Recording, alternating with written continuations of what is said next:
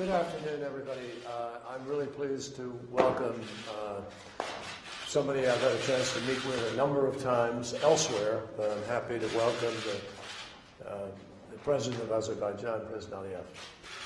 Uh, we have uh, a lot of mutual interests that we are currently working on. We're very grateful to Azerbaijan's contributions to peacekeeping, their efforts in Afghanistan. Uh, obviously, Azerbaijan is, uh, is located in a complex region right now. And I think President Aliyev has been very studious and thoughtful about how to re- re- respond to some of those needs, particularly with his leadership on the Southern Gas Corridor. This is a very important step with respect to Europe's long term strategic interests, and frankly, to try to diversify the sourcing of uh, energy, which is important.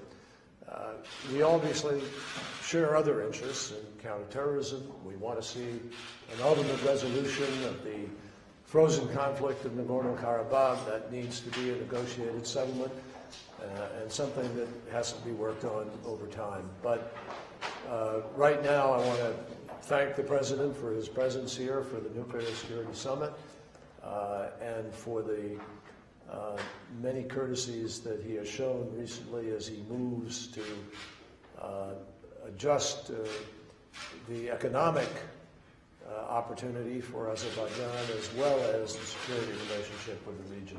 I'm delighted to have you here. Thank you. Thank you very much. Mr. Secretary, first of all, I'd like to express my gratitude to President Obama uh, for inviting me to attend the nuclear summit. We consider it as a sign of friendship and partnership. We highly value our bilateral relations. Uh, U.S.-Azerbaijan relations have already a long history of 25 years, and these relations always were very close, cordial, and now they are relations of strategic importance. We have very active political dialogue, as Mr. Secretary already said. We met many times before, but first time here in Washington. We have economic cooperation, which is developing. Uh, U.S. companies invested more than $10 billion to our economy, which is also a good sign of economic cooperation and good sign of economic development of our country. We jointly implemented such an important projects as uh, construction of oil pipelines connecting Caspian and Mediterranean seas for the first time with the strong support of the United States. And now, as Mr. Secretary mentioned, we are working jointly on Southern Gas Corridor and uh, the project of uh, energy security, energy diversification, and uh, long-term benefit to all of the participants, producers, transitors, consumers. And we are very grateful to the government of the United States for a strong support uh, in implementation of this project. Frankly speaking, without that support, it um, may have taken much more time and efforts to implement the project. We are on track, we'll be on time, and in two, three years, the Southern Gas Corridor will be in operation. We are grateful to the US government for the efforts in finding uh, ways to resolve long-lasting conflict between Armenia and Azerbaijan.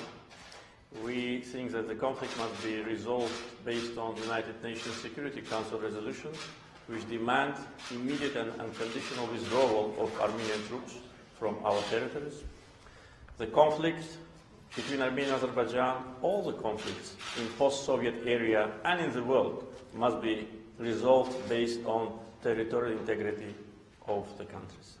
We're also close partners on uh, issues related to security in the region. Azerbaijan uh, provides its support, logistical support, in uh, operations in Afghanistan, overflights, land transportation. Also, we have almost 100 servicemen serving shoulder to shoulder with NATO uh, servicemen in Afghanistan.